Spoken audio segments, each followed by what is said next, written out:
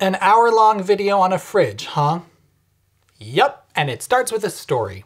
Early last year, I moved into a new home, and due to a miscommunication about the details of an appliance package and the timing of its delivery, as well as the various supply chain issues that were all the rage back then, the fridge that I had already paid for wouldn't get delivered for an indeterminate period of time. And I got a really good deal on it, so I was happy to wait. But since I happen to be of the mind that a refrigerator is a pretty essential part of a home, I went out to the store with the intent of buying a basic mini fridge to tide me over. But thanks again to everything still being all wonky, a really basic mini fridge was like 200 bucks, and for another 150, I could get this silly thing. So I did. And I'm glad I did. This fr- okay, this isn't gonna work.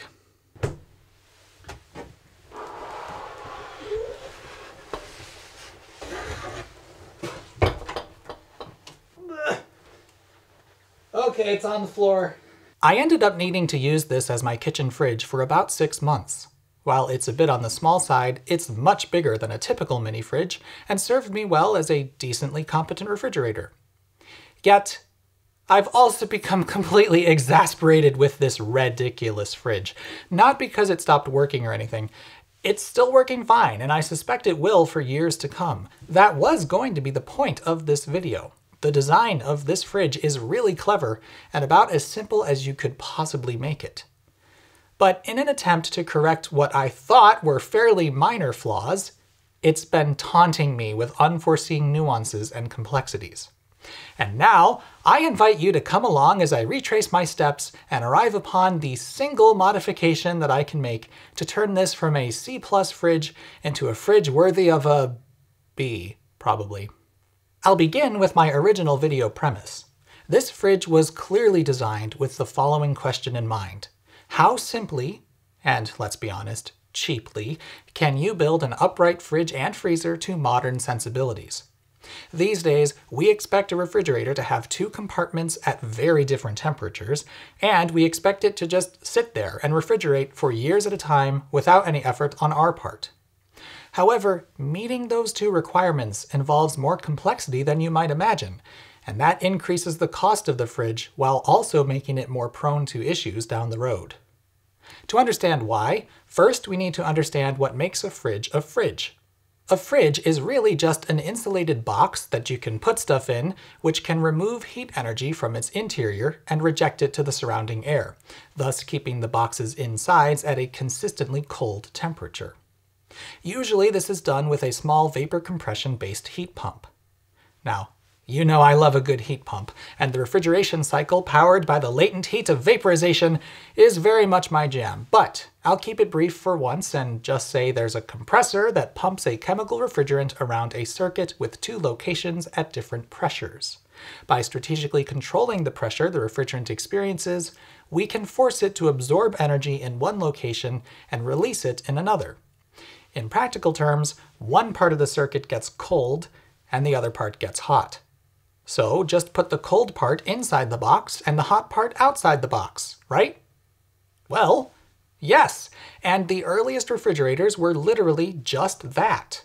The classic monitor top fridges from General Electric were effectively just an old-fashioned ice box with a small refrigeration system quite literally bolted on top. Inside the box was the evaporator, which absorbed heat energy and got cold, and up top was the compressor and condenser, the latter of which rejected the previously absorbed heat to the outside air, getting warm in the process.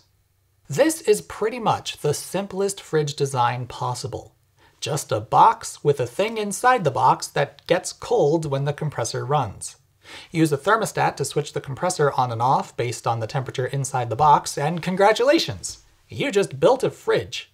For best results, make sure you put the cold part at the top of the box so that as it chills the surrounding air, that air gets more dense, sinks to the bottom, and mixes it around real good. Oh, and if you make the shape of the thing that gets cold into a little compartment that mostly separates the air inside from the rest of the fridge, it will stay so cold inside of there that you could make ice cubes. This design may be basic, but plenty of mini fridges are on the market today that are essentially this exact design. So hey, it works. But as years went by, We wanted more. The arrival of frozen foods in grocery stores meant the freezer compartment's duties expanded beyond ice cubes, and it had to get bigger. At first, it simply got wider. Eventually, it got so wide that it took up the entire width of the top of your fridge. And before long, we'd give it its own door and separate it from the fridge compartment. And at that point, we had settled into the form factor of the modern fridge. It hadn't really gotten any more complex, we just moved stuff around a bit and made it more convenient to use. But there's a wrinkle.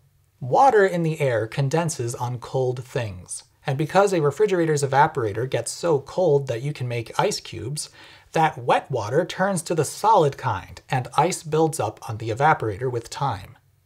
In ye olden days, and in fact to this day with many mini fridges and chest freezers, this was just a thing you had to deal with. Every once in a while, you'd empty out your fridge, shut it off, leave the door open, and let that ice melt. Or maybe stick a pot of boiling water in there and shut the door if you want to speed it up. We humans are clever though, so we started incorporating electric heaters that wrapped around the evaporator to do the defrosting for us. With the help of a timer, the refrigerator would periodically stop refrigerating and switch on that heater to melt any ice buildup. A drain pan would direct that melted water to a holding area of some sort, where it could evaporate to surrounding air, sometimes with the aid of a second heater. After either a predetermined period of time or with the help of a defrost termination sensor, it would shut off those heaters and get back to refrigerating. And now, defrosting was a thing of the past.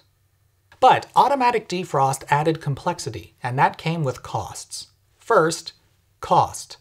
That's more parts you have to put into a fridge, more wires to run to those more parts, and more time to spend paying people to run those more wires to those more parts, all of which is expensive. And secondly, reliability. That's more stuff which can go wrong, and as the great Murphy taught us, anything that can go wrong will go wrong. Faulty defrost timers, burnt out heaters, and clogged up drain lines are some of the most common ways modern refrigerators break down. And of course, we just couldn't help ourselves and we kept on adding more and more complexity. Now we like to put the freezer compartment below the fridge or to its side, and that means we need fans to move air between the two compartments. The condenser often has its own fan too, which allows us to put fridges in tight, quasi-built-in spaces. We've moved away from mostly mechanical thermostats and defrost timers to microcontrollers and sensors and relays, and now we stick TVs in them and Wi-Fi for reasons. But then there's this little red fridge. It's decided to reject modernity and embrace tradition, and not just in its retro styling. You'll find absolutely none of that modern complexity here. In fact, there are only four components to this fridge, half of which are the door switch and the 10 watt incandescent light bulb.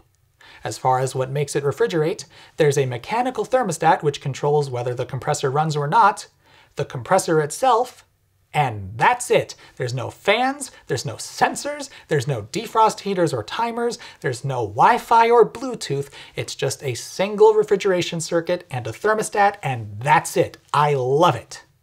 But hold on a sec. Where is the evaporator? Looking inside, we find nothing that looks like a thing that gets cold. It's just a bunch of white plastic walls and glass shelves. Same goes for the freezer compartment. And here's a puzzler. This freezer compartment is entirely separated from the fridge. There's no pass-through for air to travel between, it's just a big tub of nothing. Come to think of it, where's the condenser? This is a refrigerator. It has a compressor. There has to be a part that gets warm and a part that gets cold. Where are those parts? And how can it be maintaining two different temperatures in two different compartments with a single thermostat and a single refrigeration circuit? Well, it turns out that this thing is built like a chest freezer. When the compressor is running, it squeezes gaseous refrigerant into a long snake of a tube that travels up and down and up and down the sides of the fridge body, directly beneath its plastic skin. Since it's under high pressure inside that tube, the refrigerant's boiling point has increased and it wants to condense into a liquid. It will slowly but surely give off heat as it condenses, which causes the sides of the fridge to get warm, and eventually that heat is dissipated to the surrounding air. At the end of this serpentine path of tubing, a metering device, most likely a simple capillary tube, restricts the flow of refrigerant, causing liquid refrigerant to bunch up at that spot. The point of that restriction is to create a pressure differential, and once refrigerant manages to make it past there, it finds itself in another long snake of a tube. As before, it goes up and down and up and down beneath the plastic skin of the fridge, but this time, it's beneath the skin on the inside. This right here is the evaporator, and when the fridge runs, it gets nice and cold, because in these tubes, the pressure is low and the refrigerant wants to boil, or you might say evaporate. In order to do that, it has to get energy from somewhere, and that somewhere is, well, the insides of the fridge. The upshot is that it gets cold. After running for a while, you'll see the back wall start to form a layer of ice. And that's the power of a heat pump. And I said I wouldn't explain heat pumps again. I wonder how many of you just lost a bet. Anyway, the location of this evaporator panel, let's call it, is very strategic. Like those antique GE fridges, it's at the top of the compartment so that the air it makes cold will sink to the bottom and mix with the rest. The supports for the shelves are even shaped to prevent them from reaching all the way to the rear. The resulting gap ensures these convection currents aren't blocked. Pretty clever. Even cleverer is that the evaporator is self-defrosting. Since this is a vertical surface inside the only mildly cold fridge compartment, once the thermostat satisfies and the compressor shuts off, that ice buildup will have time to melt into water and simply fall down. It collects in this little sloped drain here and gets dumped into an adorable little pan that the compressor wears as a hat. Why do that? Well, after it's been running for a while, the compressor gets fairly hot, and that warmth will help encourage the water in the pan to evaporate. And just like that, you've made a self-defrosting fridge, no heaters or timers required. Pretty cool, right? But, I hear you asking, what about the freezer? Well, here's where things get even cleverer. This evaporator is too small, on purpose. When liquid refrigerant makes its way into the tube snaking behind the plastic wall here, it does start boiling and absorbing energy. But there's not enough surface area here to allow the refrigerant to completely boil off.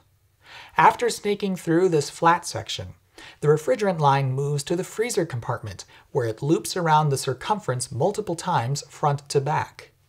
This extra long run of piping spread over a large surface area is what actually allows the refrigerant to completely vaporize and absorb all the energy it can before it heads back to the compressor. And thanks to extra thick walls with tons of insulation, this compartment naturally stays much colder than the fridge at true freezer temperatures. Isn't this just so clever? This is an extremely elegant way to make a single refrigeration circuit maintain two very different temperatures in two locations with no moving parts, other than the compressor of course. I would never have thought that splitting the evaporator into two sections in series like this would work, but it does. There are, however, downsides of course. When the compressor first kicks on, only the fridge section gets cold. It takes a while for the freezer section to start seeing liquid refrigerant, most likely because at startup, the refrigerant lines and walls are so warm that the refrigerant can get all the energy it can possibly absorb from right here. Only once this section is actually cold does the freezer start to see any cooling. That's not a huge problem, but it means we need fairly long cycle times to ensure the freezer works properly. However, they were clever enough to make sure that the front of the freezer gets that cooling first, helping ensure areas near to the vulnerable door seal get chilled immediately. Still, I would imagine that having the correct refrigerant charge in here is pretty critical for proper operation. There's actually very little refrigerant in this system, barely over an ounce of R600A, which, fun fact, is explosive! Yay! I'm not planning on setting fire to it, so I don't really mind, and besides, there's hardly any in there, but with such a minuscule charge, I can only imagine that the tiniest leak is going to cause enough capacity loss to where the freezer section basically just doesn't work anymore. Also, in case you hadn't already guessed, this fridge only gets to claim partial automatic defrost. the freezer compartment does build up an ice layer on the walls with time. In my experience, this was pretty minimal. However, I was using the fridge from January to June, and so the bulk of its use was in the cooler, drier parts of the year. Although, because the refrigerant lines are behind plastic walls, you can use a plastic ice scraper without doing any damage, and in fact, it even came with a little one for this purpose. Plus, you can leave the fridge running and maintaining proper temps while you defrost the freezer section, so that's a nice bonus. Lastly, because there's only one thermostat and it's in the fridge compartment, the freezer won't react to changes such as, oh I don't know, putting literally anything in it. It's much more of a keeps things frozen compartment than it is a makes things frozen one. That's not necessarily bad, but you do need to keep it in mind. It will freeze things, such as a reusable ice pack or anything you might want to put in the freezer to preserve it indefinitely, but it's gonna take a very long time to freeze solid, and if what you put in there is large enough, other things in the freezer will be affected as the average temperature goes up. But hey, it's better than no freezer at all. Now, I should note that it's not like this is a totally unique fridge. Plenty of mini fridges with separate fridge and freezer doors appear to use this split evaporator design. But this is the first time I've encountered it, and I love it. Chest freezers have a reputation of lasting forever, and I think this is largely from the fact that they're so darn simple and there's hardly anything to break. Assuming this fellow was put together correctly, which, judging by some of the corrosion around these braze joints, I'm not super convinced is the case, but assuming they hold up and it doesn't leak, this could also just keep going and going for decades to come. But just because something's clever doesn't necessarily mean it's good. When I was using it as my main fridge, I had a fridge thermometer hanging from this shelf on the door to make sure it stayed within food safe temperature, and I'm happy to report that it did. But barely. It was clear that its refrigeration circuit is adequate at best. Just putting in the mildly warm leftovers in a casserole dish would elevate the temperature beyond safe limits for an hour or two. I mean, the compressor is an adorable little thing, and somehow that's got to cool down a fairly large fridge, so that wasn't much of a surprise. But it was still concerning. I wanted to know for sure just how bad, or maybe good, this fridge is at being a fridge, so I needed to test it somehow. Actually, I wanted to test two specific things. First, how long does it take it to cool down a large quantity of stuff? And second, how uniform are the temperatures inside the fridge? My experience with it gave me low hopes for its ability to chill things quickly, and with the evaporator being at the very back, I suspected there would be a pretty severe temperature gradient inside. But I couldn't really get a sense of how uniform the temperatures inside were with a single thermometer, and monitoring its temperature manually would be pretty annoying. So I bought five of these things. These are temperature data loggers. They're actually quite neat. Powered by a coin cell battery, they'll take temperature readings periodically and store them in memory. You can choose how often you want them to take a reading, and even if you want a reading every minute, they have enough memory to last several weeks. Then, you just plug them into a USB port and use their provided software to grab the data. Now, they're not claiming to be the most accurate things out there, but they all agree with each other within a few tenths of a degree Fahrenheit, and since I really just want to make comparisons, that's good enough for me. Note that because they have thick plastic cases, they don't react that quickly to changes in temperature. But for the purposes of monitoring the performance of a fridge, that's not really a problem. Oh, and just as a programming note, yes, I'm using Fahrenheit, that's how my brain works. They're just numbers, they can't hurt you, but I'll put conversions up when it makes sense. And here, folks, is where things started unraveling. I thought this would be a simple affair. It was not. I did get the results I wanted, and they were conclusive enough, but this opened up a can of worms from which I have yet to completely escape, and now I'm dragging you in with me.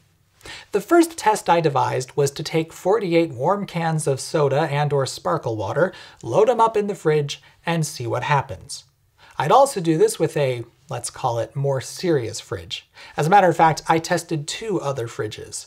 A relatively basic KitchenAid from 2022, that's the fridge I was waiting on for my new home, and a Samsung Twin Cool model from 2012, which is the fridge I have here at the studio. I started here at the studio. I put the temperature probes in different locations throughout the fridge, and I started logging at the same time I put in all those cans. We can see that the fridge was able to maintain temperature just fine. We can tell all those warm cans did slightly influence the air temperature inside, but only by a few degrees. Whatever else was in the fridge would have stayed cold. I also want to point out that even though I had the probes in various locations throughout the fridge, they all read very similar temperatures throughout the test.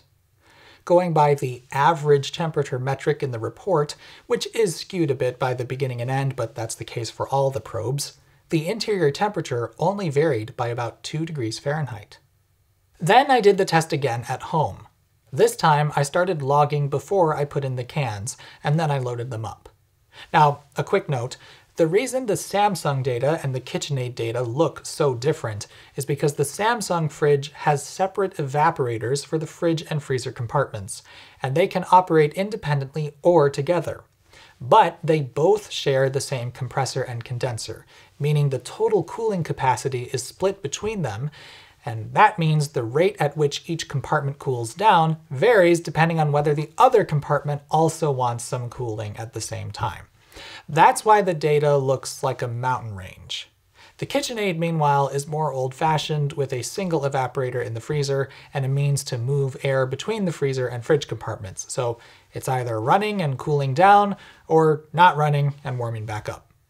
Anyway, here's where I loaded up all the cans of water. Honestly, I don't know what happened here. I might have put something else in the fridge earlier. Also, yes, this is very cold. I'm surprised nothing ever freezes in there. We do see the measured temperature increase slightly as it works to cool down all those cans, but again, it's not a lot. In some locations, it's barely noticeable. And here it's a bit more so, but still not much. This probe saw the biggest change, and it was placed in one of the shelves of the door. But it only just cracked 38 degrees and slowly crept back in line with time. Oh, and again, the temps in here are pretty consistent.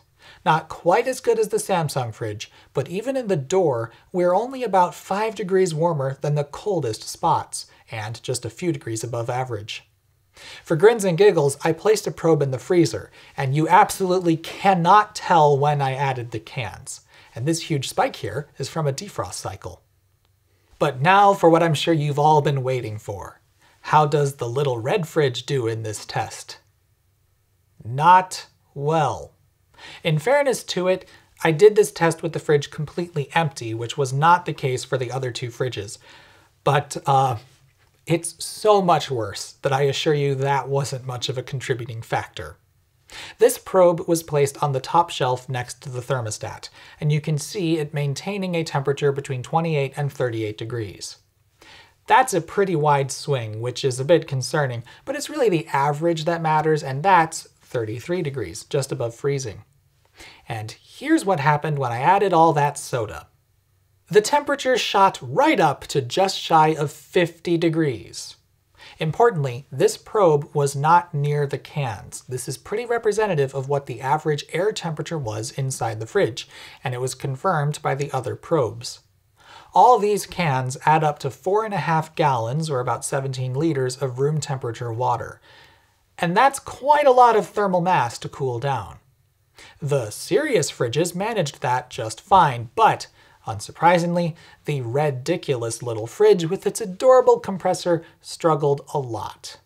Compare the downward slopes between the empty fridge and the full of water fridge to get a sense of how hard this is for its itty bitty heat pump. Speaking of itty bitty, I snuck a probe into the freezer too. Let's take a look at that data. Given how this fellow works with its two-section evaporator, the freezer gets colder whenever the fridge is running. And since at this point the fridge has been running for several hours straight, the freezer is getting cold. In fact, it's apparently bottoming out, and minus 19 is as cold as it can possibly get. Prior to adding all the soda water, it was swinging between about minus 7 and 10 degrees, which is just a tad on the high side, but with the fridge completely empty, that's not much of a surprise. But I haven't shown you the graph beyond this point yet. See, here's where things took a turn for the weird. If this fridge works like any fridge ought to, this line will just keep on going until we're back down to 28 degrees. After all, the fridge has a thermostat, and the thermostat's entire job is to keep its insides at a consistent temperature. And until we put the stuff in, it switched the compressor on at 38 degrees and switched it off at 28 degrees. But look what happened about 5 hours into its cooling task. It stopped. We hadn't even gotten down to 42 degrees, and the thermostat was satisfied for some reason and it let it get all the way back up to 46.6 degrees before I decided, mm, we better start cooling again. Something has gone really off the rails here. And by the way, this is the best probe. Probe 4, placed in the bottom door shelf, only got down to 46 degrees before the fridge shut off, and it got all the way back up to 49.1 degrees before it decided maybe it should start cooling again. These temperatures are well within the temperature danger zone, and that's not good. Your fridge should be at 40 degrees Fahrenheit or less. Granted, simply putting all those cans in meant we were in the temperature danger zone for 5 hours, which is also not good, but the thermostat should not have satisfied this early. If I keep showing you the data though, you'll see that the thermostat kept on shutting the compressor off way too early. But each time it did, it got a little bit colder, and it would kick the compressor back on just a tad earlier than it did the last time.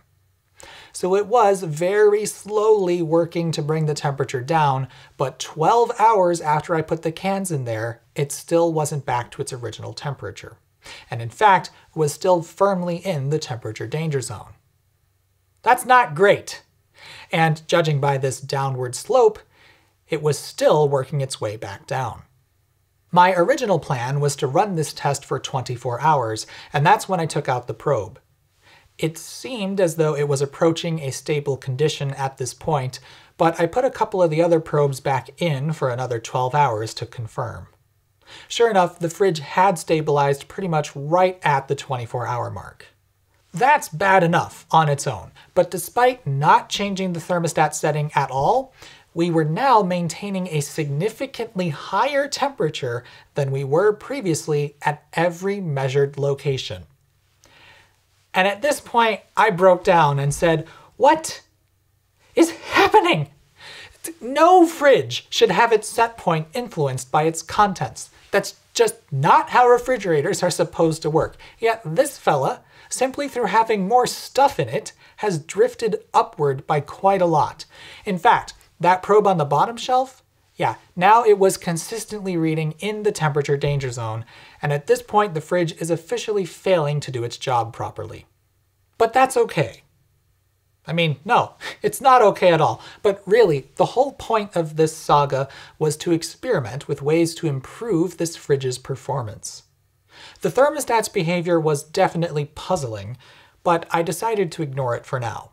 I thought that perhaps the thermostat was being influenced by the location of all the thermal mass somehow, and if that were the case, then moving on to the thing I really wanted to try and improve could perhaps fix it. And that was internal temperature consistency. Remember how in the proper fridges, their internal temperature varied by at most 5 degrees in my tests? Well, the variance in this little red fridge was unsurprisingly worse. To quantify it, I ran a very long trial with the five probes placed in several different locations, and the fridge filled with another 16 candles, I mean cans. I put seven cans in the middle shelf of the door, as well as a boxed eight pack down in the crisper drawer, with the eighth pineapple bubly can. For this five-day test, I put probe 1 right at the back of the top shelf, probe 2 below the thermostat, number 3 right in the corner of the top door shelf, number 4 behind all those cans in the door and right up against the door, and probe number 5 was all the way at the bottom in the crisper drawer. Those additional 16 cans were added warm at the start of this long trial, and Good news here, the fridge handled them a little more elegantly this time. They did still raise the interior temperature slightly, but probably thanks to the thermal mass of all those already cold cans, as well as the fact that this was a third as many cans as the original torture test, probes 1, 2, and 3 only show a slightly elevated temperature at the beginning. Probes 4 and 5 showed a much higher initial temperature, but I placed them right near those warm cans. But how it handled a few more cans wasn't really the point. I wanted to see how much the temperature varied once it had stabilized out, and, well, it's quite a lot. Probe 1 at the back of the fridge near the evaporator averaged right around 32 degrees. Probe 2, which was just a few inches ahead of there on the same shelf, averaged 37 degrees. We've already tied the temperature variance of the KitchenAid fridge, and these two probes were almost right next to each other. That bodes well.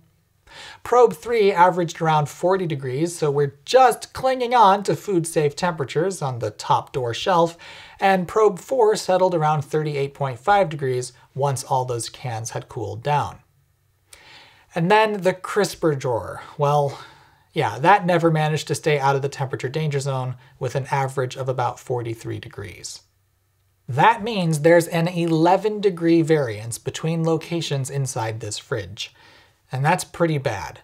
Although, if we exclude the crisper drawer, it improves to an 8 degree variance, which isn't terrible, I suppose. A little mindfulness on what goes where would pretty much take care of you.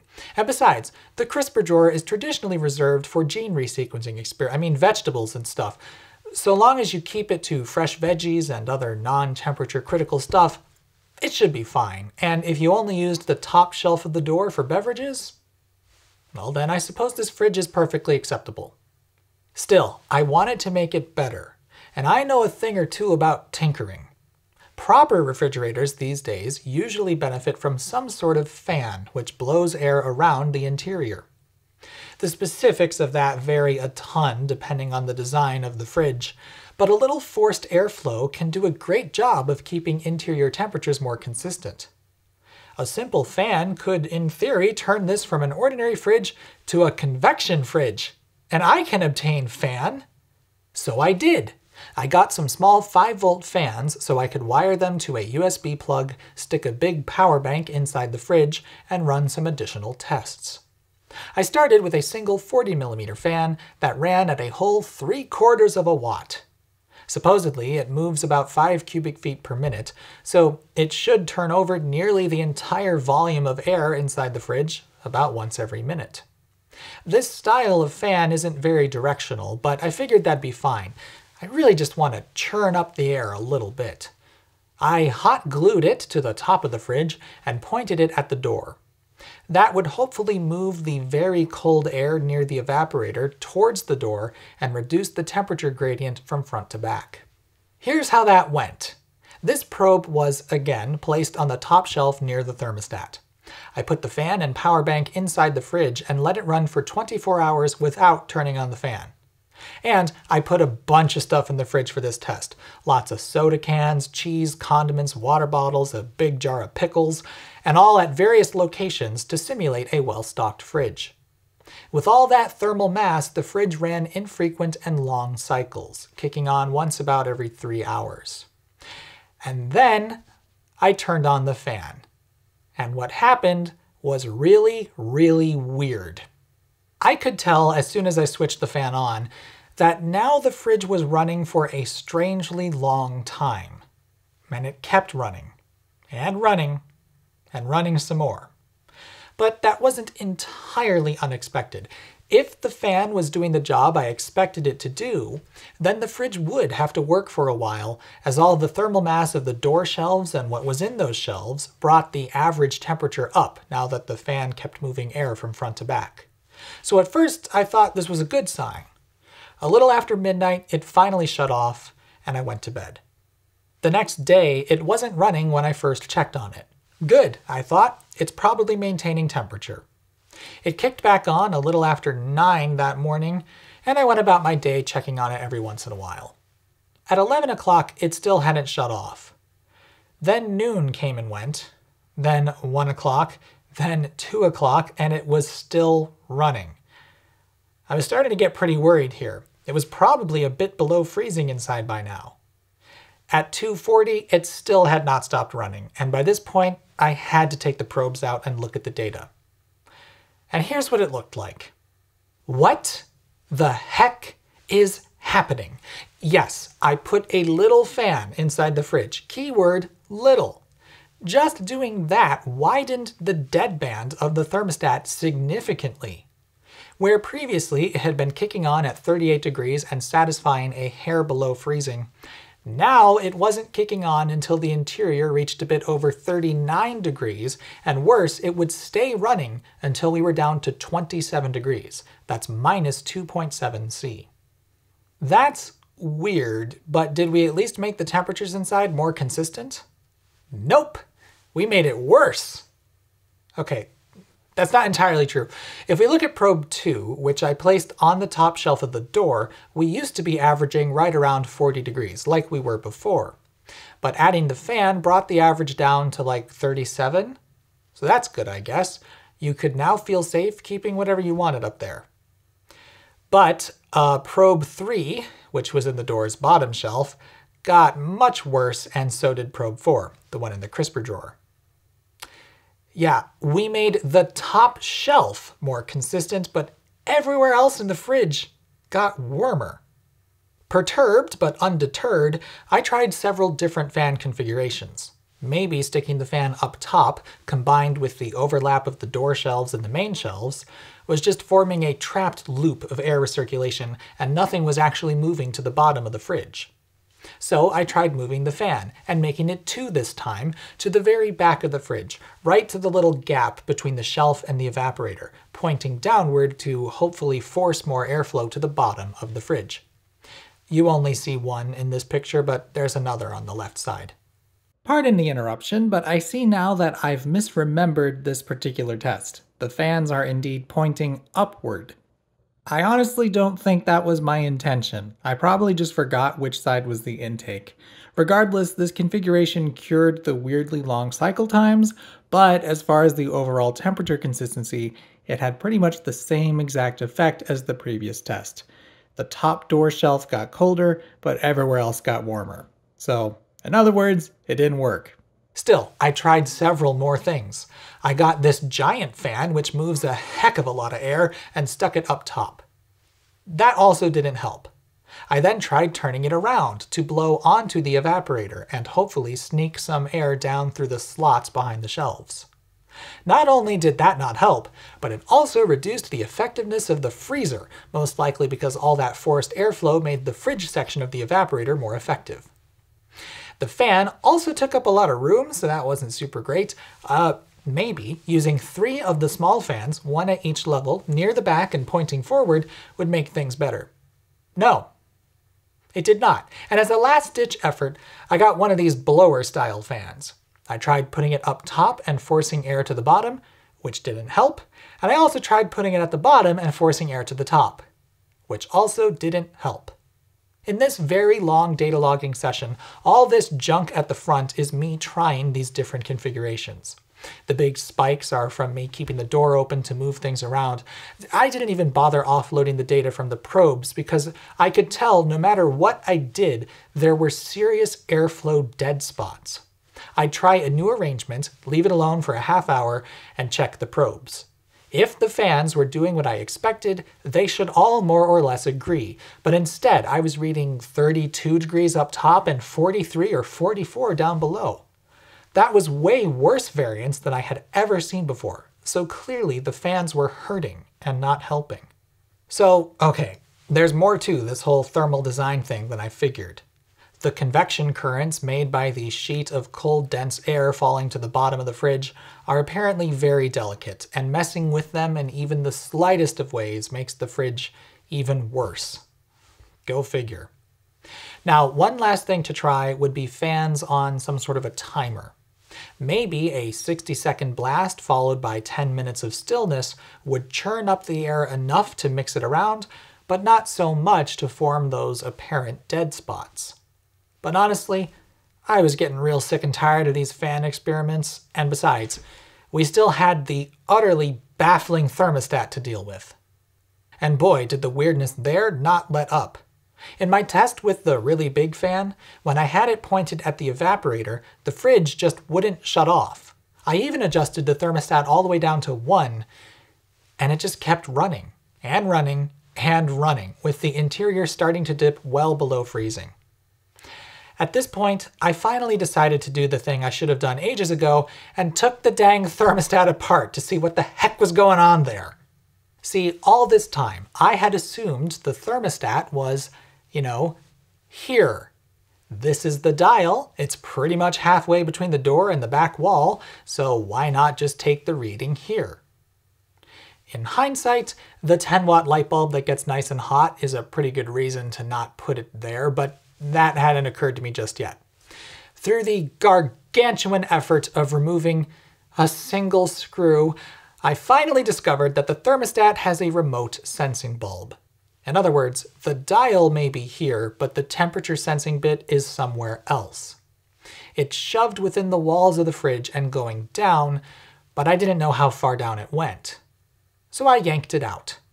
Turns out it went quite far down.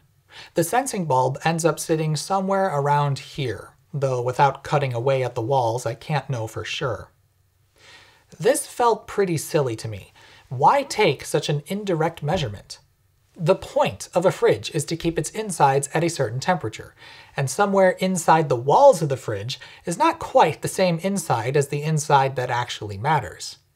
To fix this utterly baffling situation, I drilled a little hole in the thermostat housing so I could poke the sensing bulb out of there and just let it hang in the air. Guess what? This also did not work and broke the fridge in a new and unexpected way. Now, the fridge just wouldn't shut off, ever, not even set to the least cold setting, and not even once the measured air temperature inside was below freezing. I even tried wrapping the sensing bulb in a frozen teriyaki sauce packet, but the fridge just kept on running. Why would that be? Well, I noticed when I pulled out the sensing bulb that the capillary tube connecting it to the thermostat felt extremely cold.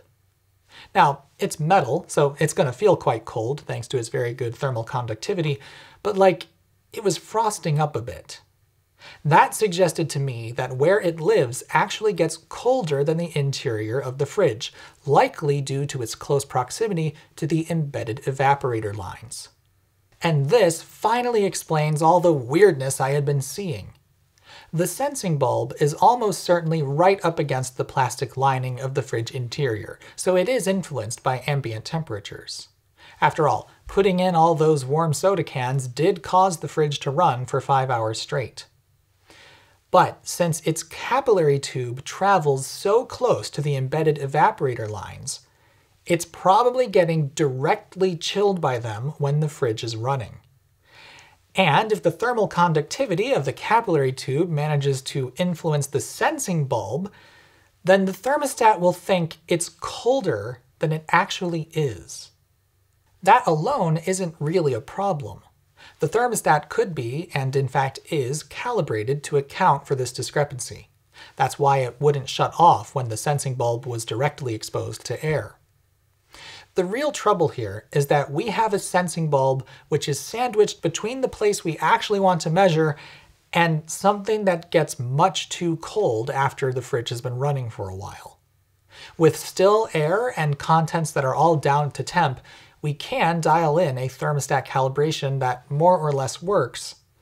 But this balance is extremely delicate, and if we change any variable at all, this scheme simply breaks down. For instance, when we look back at the soda test data, we find something puzzling. The fridge had nearly identical cycle times when empty and when full. Prior to adding all the soda, here the fridge ran for about 33 minutes before shutting off. And here, 24 hours after being loaded up with all those cans of sparkle water and mostly stabilized in temp, it again ran for 33 minutes. That's not normal. It simply shouldn't be behaving like that, and no sensible fridge design would. With more thermal mass inside, it should need to run longer to achieve the same drop in interior temperature. But it doesn't In fact, it just doesn't bother trying to attain the same drop in temperature at all. You can tell because these spikes are less spiky. Once it managed to get down to about 42 degrees, the fridge settled back into the same relatively fixed on and off cycle that it had when it was empty. And since it wasn't back down to temp yet, it was a dreadfully long slog back down to food safe temperatures. Oh, right, except we never actually made it back to food safety in some of the probe locations. What seems to be the case is that the thermostat is influenced far more by how long the refrigeration circuit has been running than anything else, likely because the sensing bulb gets cold so much faster than the rest of the fridge does. And with more thermal mass inside the fridge, the temperature rise back up to whatever point the temperature kicks in at will happen more slowly. So the net result is, the more stuff is in the fridge, the less overall time is spent running, which elevates the interior set point. Fantastic! Speaking of fans, the fan experiments likely wreaked havoc on the overall set point because the new airflow patterns, even though they may have been minuscule, kept tipping the balance between the internal chilling effect on the sensing bulb and the fridge's actual temperature. More airflow near where the sensing bulb sits would skew its reading towards the actual air temperature and diminish the importance of the internal chilling effect. Also possible was that in the tests where lots of air was blowing on the evaporator, the internal chilling effect itself was diminished as the refrigerant vaporized more completely in the evaporator. But honestly, I'm not super confident in those explanations. All I know is adding the fans made really weird stuff happen, and it's not gonna help. So now, what do we do here? This fridge clearly has far more weaknesses than I thought. The temperatures inside aren't that uniform despite my best efforts. Its weak little heat pump means that its competence at refrigeration leaves something to be desired, and the thermostat is just awful. I mean, it did okay when it was my only fridge, but I wasn't watching it that closely. It could be that every time I put leftovers in there, it got way warmer than I realized. Well, the thermostat it came with might not be any good, but who's to say we have to keep it? Not me, that's for sure, and for a whole 20 bucks, I got this fella right here, an honest to goodness temperature controller. Yeah, it was cheap, but it's actually pretty decent and features relays that can, supposedly, handle up to 10 amps of current. Which is plenty for this little fridge, which normally pulls about 1.2 amps. You simply supply the controller with line voltage, wire whatever load you wish to control across the appropriate switch, and finally wire in the included temperature sensor. It'll do heating or cooling, and you can specify your set point as well as the differential, which is good because due to how the freezer gets fed refrigerant, it probably needs a fairly wide temperature differential to ensure the freezer actually gets properly cold. All I needed to do now was figure out how to wire this up to the fridge. I figured it'd be pretty simple since, you know, this is a pretty simple fridge, and yes indeed, it was pretty simple. Under this cover lies the compressor terminals and, surprise, support components. A whole two of them. First, we have an overload protection device which will cut power for a minute or two in case the compressor rotor becomes locked up, which might happen if the compressor tries to start with a pressure differential in the system, which might happen due to a brief power interruption. And then we have a PTC motor starting device, which upon power up briefly allows current through the compressor's start winding to get it started. Big Clive did a video on these things in case you want to learn more about what it does. But anyway, that's it. These two support components, the compressor itself and the thermostat, are literally the only four electrical devices in the entire fridge. And if we count the light bulb and door switch, we have a whopping six. To get this working, I just needed to bypass the existing mechanical thermostat and send power through here instead. After a quick look at the amazingly included schematic on the back of the fridge, it appeared that live ground and neutral were sent up into the fridge to power the light, and the thermostat just sent power back down to the compressor on the red wire whenever it called for cooling. After a sanity check with an ohmmeter to confirm this is what happens, it was a simple matter of cutting and taping off that red wire, then running a new hot wire through the controller's cooling terminals and back to where that red wire used to go. Of course, I needed to get the temperature sensor wired in, so I drilled a hole through the fridge behind the crisper drawer. I didn't think there would be any refrigerant lines here, and thankfully that was correct. Then it was just a matter of configuring the controller's settings and deciding where to put the temperature sensor. To bring things full circle, I decided to tape the sensor to the wall near the original thermostat's dial. Now, this was all a pretty rough and ready install using wire nuts and spare wires I had lying around, so don't judge me too harshly here. Really, I just wanted to run a test with this controller. So let's get to that. Before I could turn it on though, since I had the fridge on its side to do these modifications, I'd need to let it sit upright for at least an hour. You need to do this for anything with a compressor-based refrigeration system in it, like an air conditioner, dehumidifier, fridge, freezer, or even a water cooler. If you've ever wondered why, well, this black ball-shaped thing is just a sealed enclosure for the actual pumpy parts of the compressor and the electric motor that spins them. You can hear it knocking against the enclosure when I rock it back and forth. And since the pumpy parts are made of metal and they move past each other really fast, it needs lubrication. That comes in the form of oil, and the compressor and motor are basically just sitting in a pool of it. The system relies on gravity to keep the oil in the right location, and so every refrigeration system with a compressor like this can only be operated in an upright position. When I had it on its side, some of its oil will have drained out of the enclosure and into the refrigerant lines, and turning it on in that condition would have starved the compressor of lubrication, potentially damaging it. It might also have tried to force a big ol' slug of oil through the system, which could go poorly. Small amounts of oil end up getting pumped throughout the system in normal operation, but it eventually makes its way back to the compressor. And really, that's all you're doing by letting it sit upright for a while. You're allowing whatever oil might have ended up in the wrong places to drain back to the compressor housing prior to starting it up. A good hour and a half later, I switched it on and, happily, it started up and sounded normal. I configured the controller with a set point of 38 degrees and a 3 degree differential. I didn't yet know for sure what that meant. Would it go 3 degrees below 38? 3 above? Or perhaps three above and below. The only way to know for sure was to watch it. So yes, I spent a thrilling evening watching my fridge and its fancy new temperature controller. Right when the display read 38 degrees, the fridge shut off.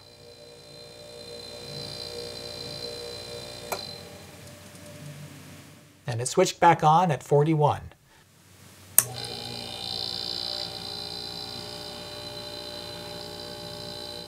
So that's how that works. Next, it was time to repeat the soda test. I loaded up all my probes again and monitored the fridge empty for a while, then in went the soda cans. As before, it really, really, really doesn't like doing this, and it took several, by which I mean 14 hours, to dig its way back down to the set point. But it didn't stop until it got there.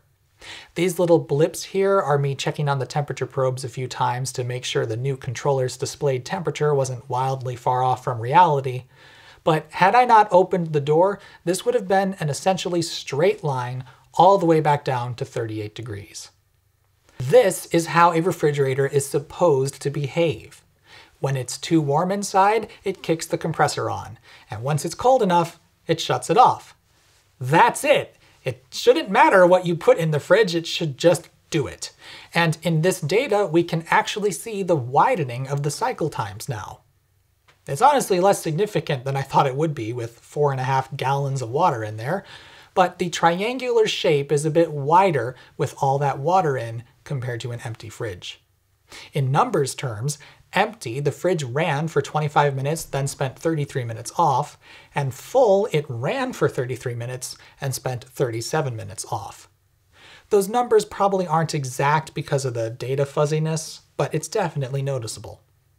And by the way, there's no reason the fridge has to have an electronic thermostat to work properly. With how cheap microcontrollers are these days, I'm somewhat surprised that this was built with a mechanical thermostat, but its mechanicalness wasn't ever the issue. It's where they put the dang sensing bulb and how they ran the capillary tube to it. If it actually measured the air temperature inside the fridge, that'd be fine. But instead, they buried it deep within the walls for some unknown reason and made a weirdly bad fridge as a result. But I've fixed it, and I'm happy about that. And guess what? The manufacturer seems to have fixed it too. They continue to make plenty of these silly retro fridges and other appliances as well, but this particular model has been discontinued. They sell even smaller ones than this, which appear to have more or less the same design, so if you're looking at getting one of those, be wary of its thermostat. Hopefully they ran the sensing bulb somewhere more sensible. But when we get up to the size that this fella is, well, they've gotten a lot more expensive because they got their wish to become a real fridge with automatic defrost and everything. We can even see the air pass through between the two compartments. The evaporator is now entirely in the freezer, and it just lets some of that air fall into the fridge when required. However, these new offerings have gained pretty much all of the complexity of a modern fridge. Which, to be honest, is probably mostly a good thing, but I still really admire how incredibly simple this design is. Yes, it's still not great at chilling large quantities of stuff, and the freezer has its own peculiarities in addition to requiring the occasional defrosting. But so long as you remember its limitations and are okay with them, this fridge was mainly let down by a bad thermostat. It makes me wonder if perhaps they had just gone that extra step to an electronic controller and a well-placed sensor, they would still be offering this model. It was really quite inexpensive for such a large fridge. Still, while I've made it miles better than it originally was, there's still room for improvement. For a start, the designers may have been correct to put the sensing bulb towards the bottom of the fridge compartment. It's apparently warmer down there on average, which honestly surprises me. Warm air rises, after all, but I guess enough warmth from the compressor infiltrates through the bottom. Which would also explain why the crisper drawer consistently stays just a little too warm. Hmm. I wonder if a fan down by the compressor on the outside might help with that. No! Stop it! And speaking of too warm, the set points for this test are definitely a little too warm.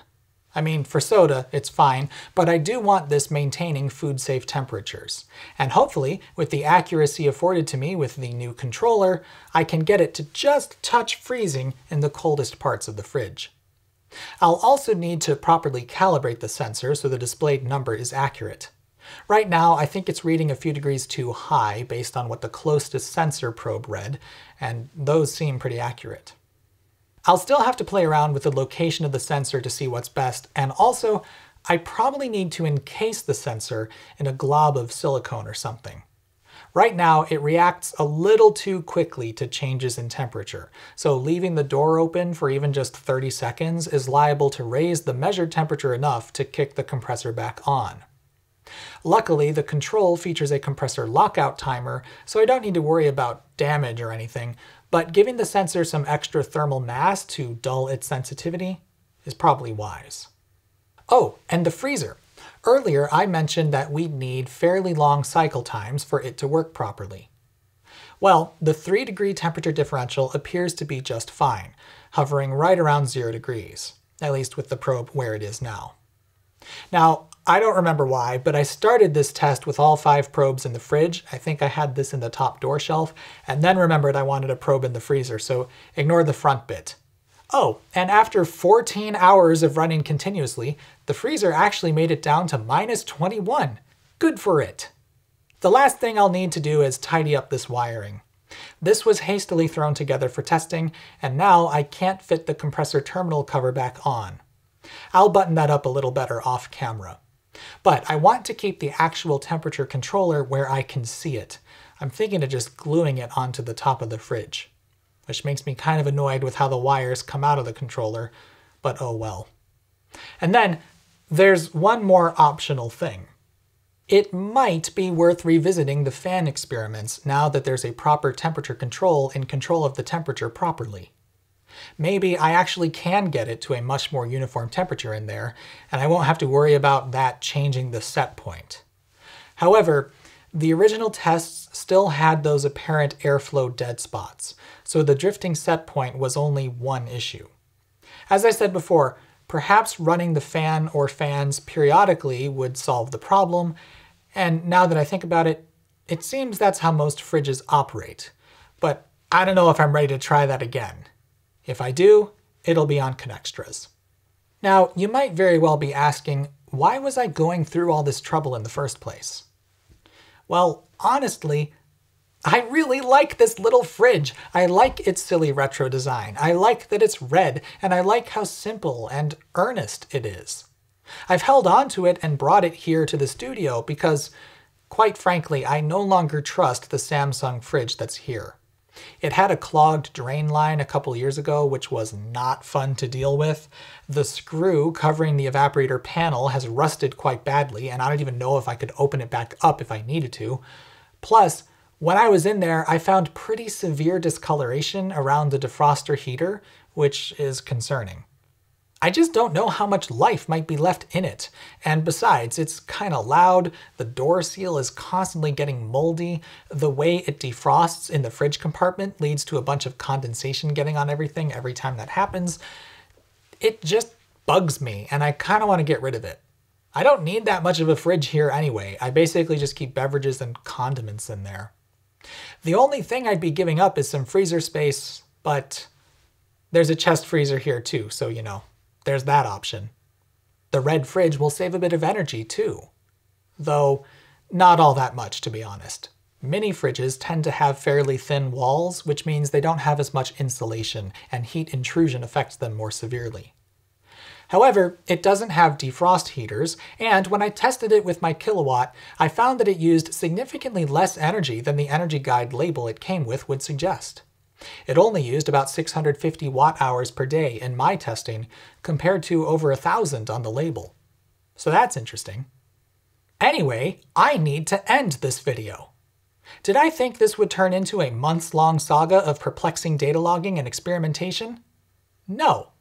Absolutely I did not. I thought I was going to show you this silly red fridge, see how much of a temperature gradient it had in there, then fix it with a fan and praise the power of convection but everything went right off the rails and now we're here. Which leads me to this warning. If you should buy some of these data loggers, beware the rabbit holes they may open. Knowledge is power, but sometimes ignorance can really be bliss.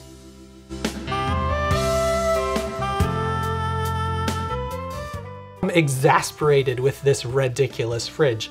Not because it stopped working or anything. It still worked. Yeah, I did not emphasize red enough without any effort on our...